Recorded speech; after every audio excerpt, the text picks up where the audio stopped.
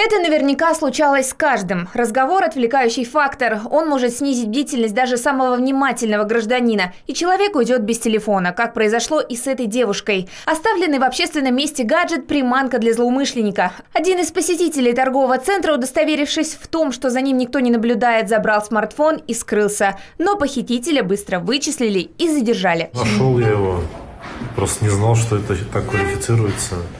Нашел, он у меня какое-то время полежал, на него никто не ответил, ничего, и я его, соответственно, сбагрил. А куда сбагрили? На Савеловский радиорынок. За какую сумму? За 5000 рублей. Он заблокированный был.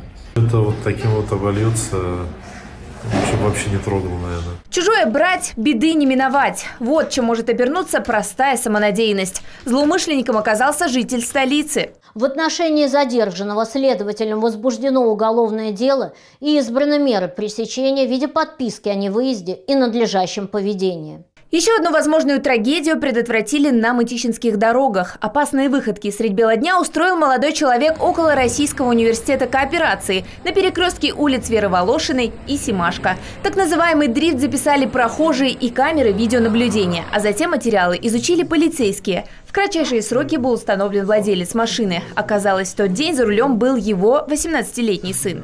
Общественную опасность день осознавали, но тем не менее все равно продолжили действовать. Почему, для чего? Просто хотел понтануться перед друзьями. Никому не советую так делать никогда, потому что все карается законом, и вас очень легко будет найти. Катайтесь аккуратно. Установлено, что молодой человек получил водительское удостоверение несколько месяцев назад, но уже успел создать серьезную угрозу жизни и здоровью окружающих, за что поплатился не только своими нервами, но и финансами. В отношении молодого человека составлено 10 протоколов об административных правонарушениях. Общая сумма штрафов составила 14 тысяч рублей. Сколько человек могло пострадать по вине водителя, который предпочел понты здравому смыслу? Остается надеяться, что этого мы никогда не узнаем.